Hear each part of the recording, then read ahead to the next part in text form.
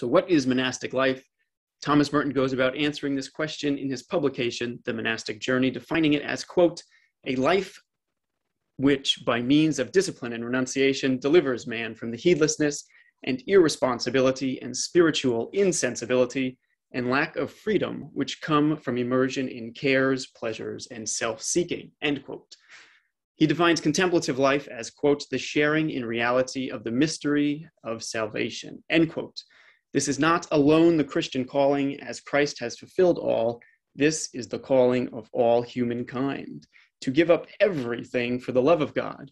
And as all life comes from God, all life is of God. Thus, all beings are spiritual beings on a spiritual path, whether they want to be or not. To better understand this life of perfection, it is important to separate the lives that those here on earth try to interweave. There's worldly life, the life of the temporal and ephemeral, and their spiritual life, the life that is immersed within reality, yet sees it all through the truth of the eternal. Furthermore, there exists a distinct difference between a God centered life and a God focused life. A helpful visual for this can be found in the image of a spider web. A life that is centered on God holds God in the center. However, that center, po- that center point is as expansive as the web allows. It is a self defining space, a self made space, a space which quite often overbooks its vacancies.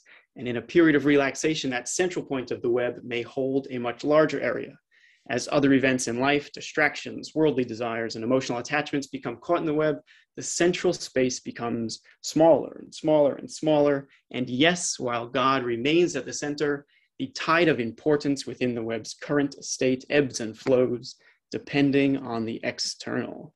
In comparison, a life that is focused on God is to imagine the God focus as a flashlight, and all that happens and exists is viewed quite literally and arguably because of this light.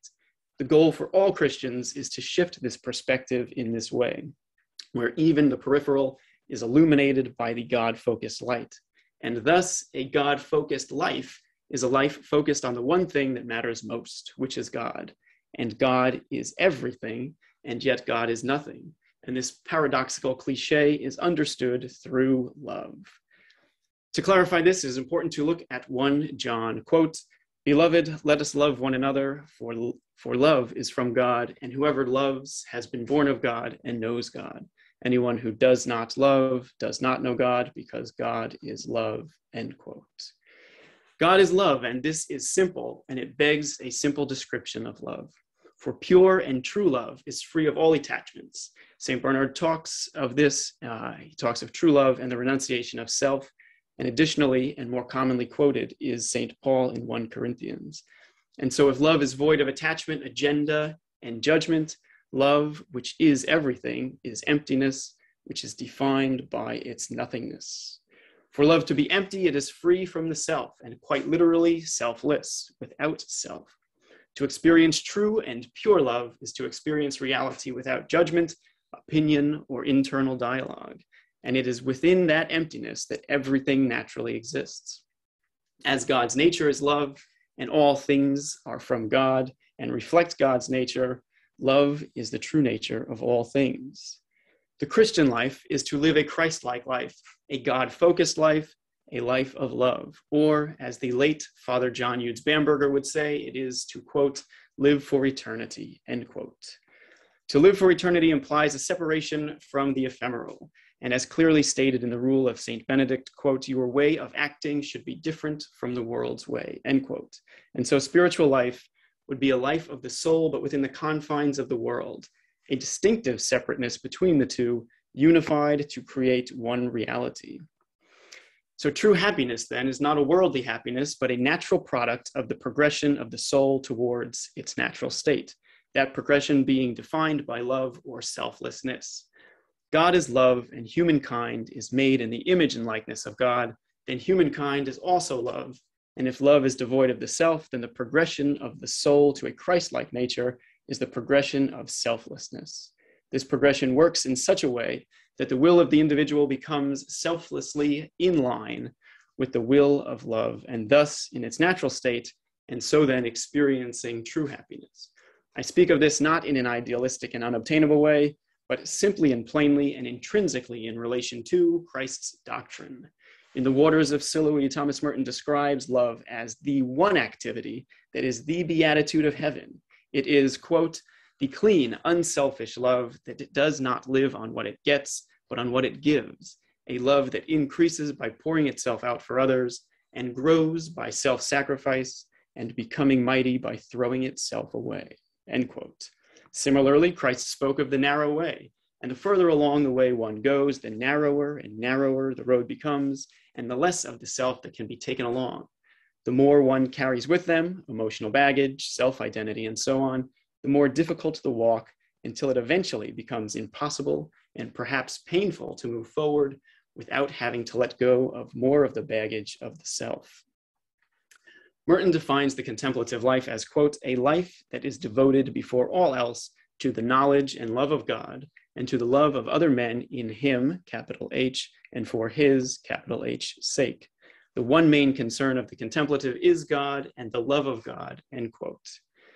To live for eternity is to remove oneself, in many cases only figuratively, from the ways of the world in order to refocus on eternal life, to choose the selfless path, the path that does not glorify the self, vastly differs from the way which society and culture depict. In the Apostolic Constitution of July 8, 1924, Pope Pius XI said on contemplation, quote, it is especially expedient nowadays when we see so many Christians giving rein to their desire for earthly riches and the desires of the flesh, end quote, and how relevant still today, almost exactly 97 years later. Merton reminds us that, quote, to take refuge in our humility is to take refuge in our nothingness, end quote, and further defines humility simply as the emptying of self. If the life of the Spirit is to be seen as a progression towards humility, then humankind is universally called to a conversion of manners, and that the conversion of manners must be seen through humility. So much so that Merton takes the rule of St. Benedict's 12 degrees of humility as synonymous with the conversion of manners, saying, quote, the whole 12 degrees are the conversion of the monk's manners from 1 to 12, end quote. He speaks of the conversion of manners, saying, quote, that underlying the surface of daily life with all its faults and imperfections is an underlying good, and this underlying good can be brought out. The only thing that's necessary to bring it out is to remove the obstacles, end quote. The conversion of manners and spiritual life as a whole is a way of removing these obstacles. To view life this way presents an unavoidable living relationship with the doctrine of Christ and how humankind is universally called to live it is an internal calling to develop, uh, to develop humility, the loving act of selflessness, a complete interchange so that the good in oneself is surrendered to Christ so that he, capital H, can do what he, capital H, capital H, wants with it. Of our internal obstacles, Merton says, quote, worldly standards imprison the good that is in us. If we can get rid of these worldly standards, it's getting rid of obstacles and the good will develop, end quote. Merton emphasizes humility as the key to meta- of excuse me. Merton emphasizes humility as the key to monastic life, and so is true universally. It is a pathway to developing humility that naturally reduces the presence of the self, and it is through that that love can naturally inhabit the space left when the presence of the self is decreased.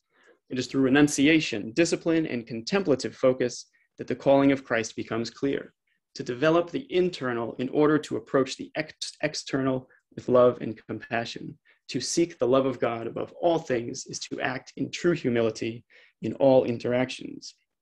To change the world is to change on an individual level, not to live for ideals and abstractions, but to live for God in reality, both worldly and spiritually united. Because it is in the separation with the world that one becomes more deeply and fully united with it developing a true love for humankind, for one's neighbor, a love for one's enemies, and ironically, a love for oneself. This perfection, Christian perfection, is, quote, nothing else but the perfection of charity, and that means perfect love of God and men, end quote. To live one's faith is not to hide behind one's ideals. Merton states that, quote, the realm of ideals is not the realm of charity. The realm of charity is the realm of reality, pleasant or unpleasant. He goes on to say that, quote, what we have to do is cling to the central reality, which is life and charity, and to have our whole being oriented to the kind of existence which is favorable to love, end quote. And as our circular path approaches the place where it originated, I reference the quote that began this discourse to place Merton's one line explanation of the monastic life in a context that excuses no one, a universal explanation of the obligation of humankind. A life of love is a life which, quote, by means of discipline and renunciation delivers man from the heedlessness and irresponsibility, the spiritual insensibility, and lack of freedom which come from the immersion in cares, pleasures, and self-seeking, end quote. Love is to renounce the way of living and to align, love is to renounce one ways of living and to align oneself with the calling of Christ by adopting a contemplative life structured in humility, founded on love, and focused on God. In adopting this way of life, one finds deeper joy and happiness that radiates from within and extends to eternity. And so, to end with a Merton quote on Cassian's definition of contemplation, a quote that sums up in words quite plain and simple the Christian life, the spiritual life, the human life, the contemplative life is, quote, embracing a kind of life in which we are progressively stripped from possessions and from our way of handling things and from our thought, so that we are left, spiritually speaking, naked and poor in a position where we can be moved immediately and directly by God to the place that He, capital H, will show us, where we can't get by ourselves, so that the perfection then is to be led to a land we haven't even sought. End quote. Thank you, and God bless.